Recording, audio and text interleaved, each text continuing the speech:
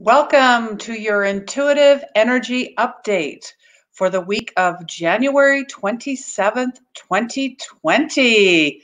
All about soulmates. Let's get to it.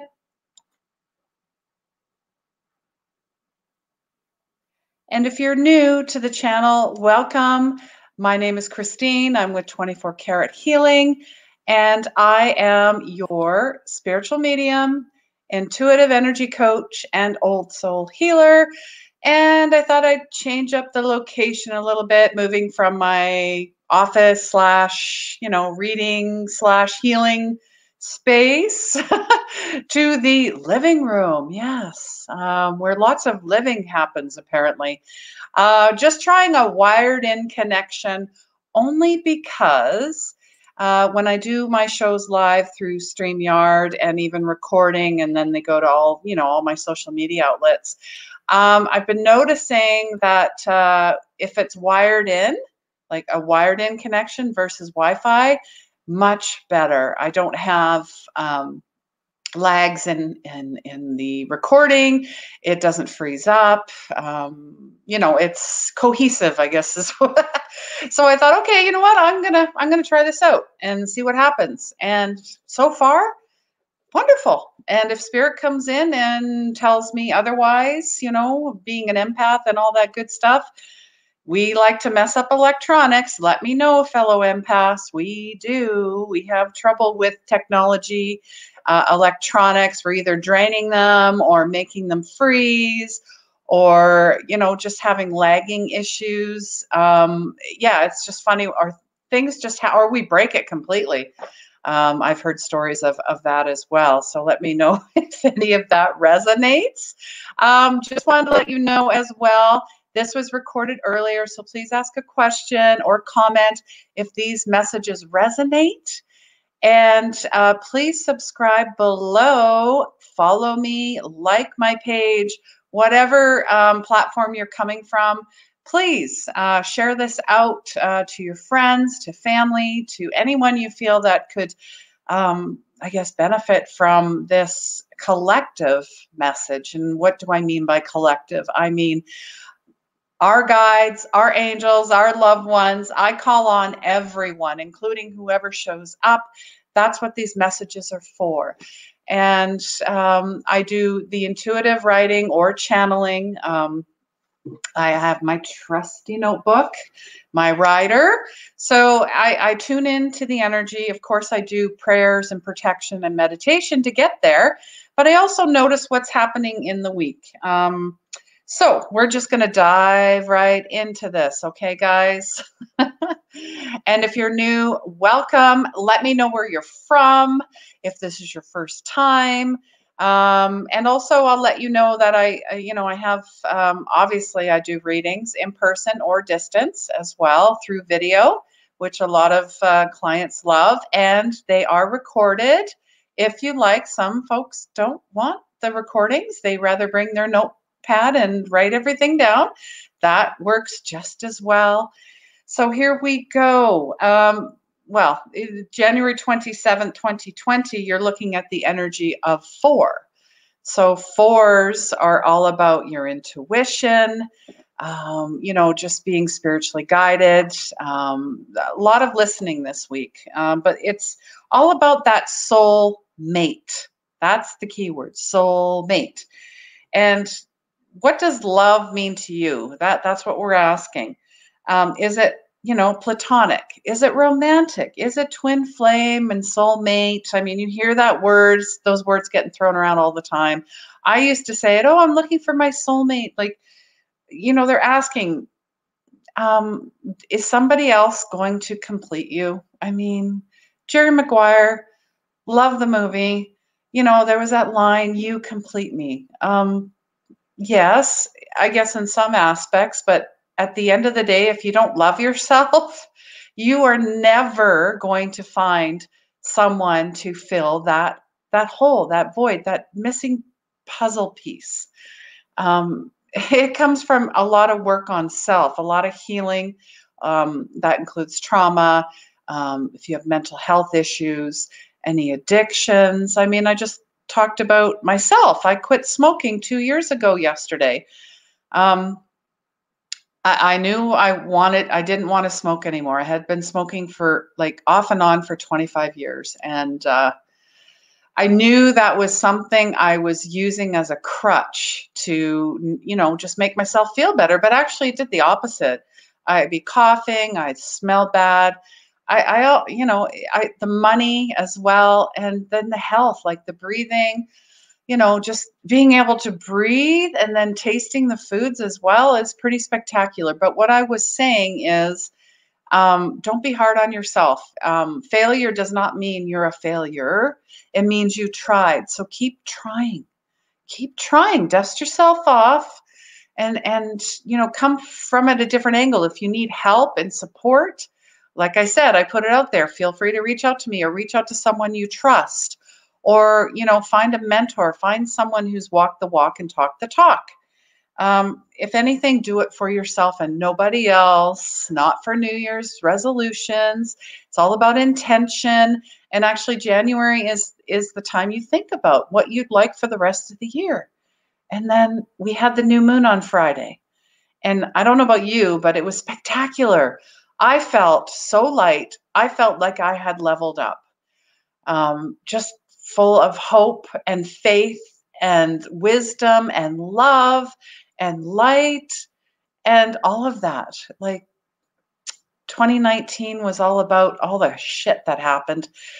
You know, the tough stuff, a lot of healing, a lot of a lot of the yeah, a lot of digging, digging for the pieces that are already here. Pieces that are already here. And 24 karat healing is about gold. And gold is the purest form of you know your metals your precious metals. And i see gold filling the cracks of any type of trauma or any part that you don't feel whole. Just imagine that. Uh, you know when you're doing a meditation just just imagine that filling the cracks.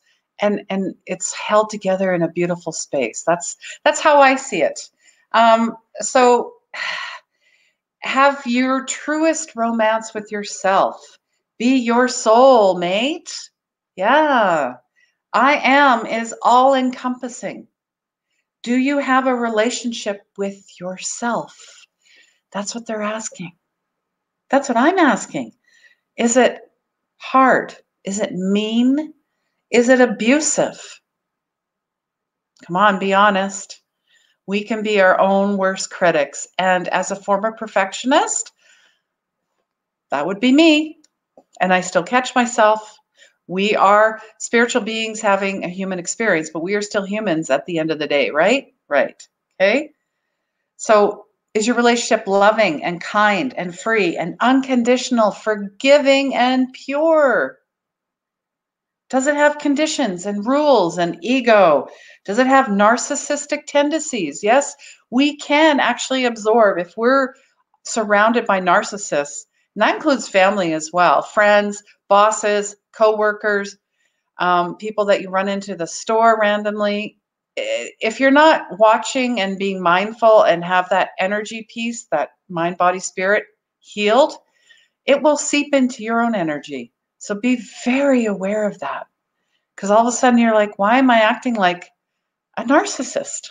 well, it kind of absorbed you a little bit there. Um, yeah, so it's it can be tough. It can be tough.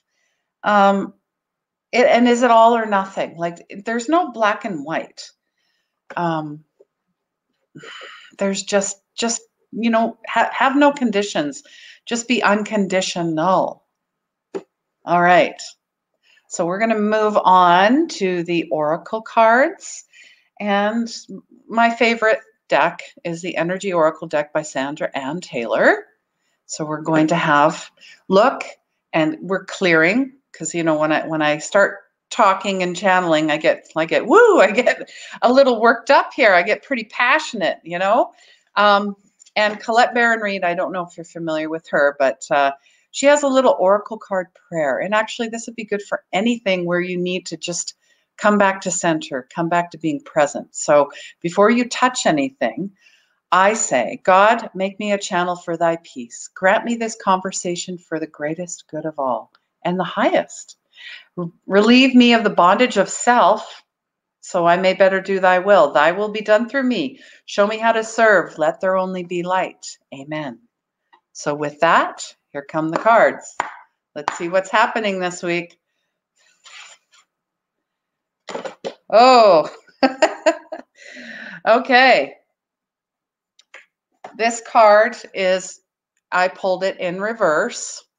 So that is, you know, it it means, you know, it's pay attention. So two and three, we've got a five energy going on here. 23, twos and threes. This may be a four week, but this is what's happening here. Um, mm, yeah, it's, do you see how she's kind of tied up? And there's a lot of, a lot of colors, gold, rainbow. I'm, I'm seeing like a prism of light here.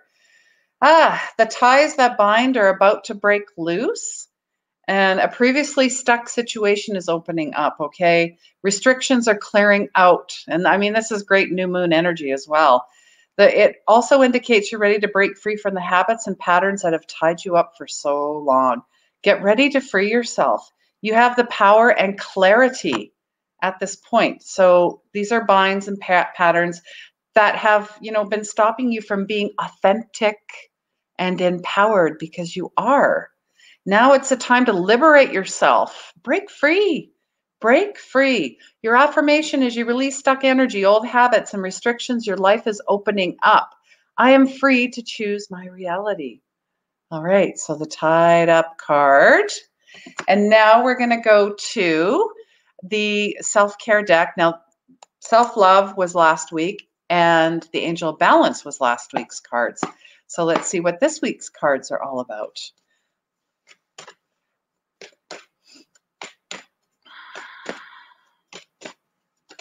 Oh, there we go. Ooh, wisdom, wisdom. That is a beautiful card. And she's, yeah, let go of the need to control. Trust the wisdom of the divine plan. And that's your intuitive self.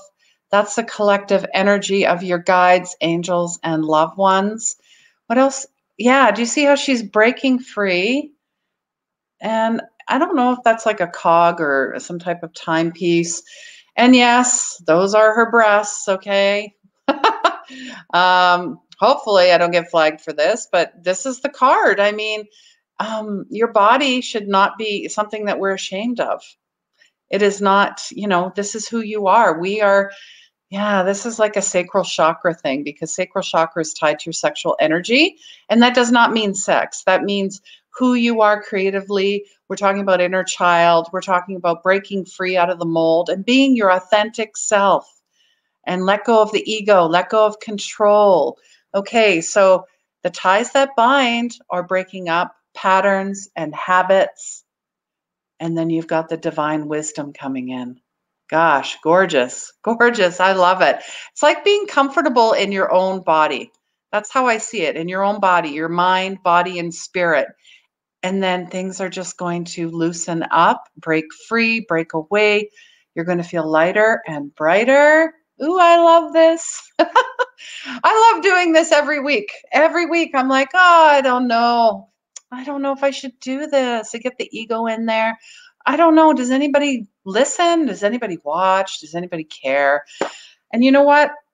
I care and that's why I do it. It actually it's for myself as well. These messages are not just for you, it's for whoever shows up and I'm showing up, okay? Right, guys, just to let you know as well, there's a mentorship uh, happening February 21st. Uh, it's going to be a small group of six.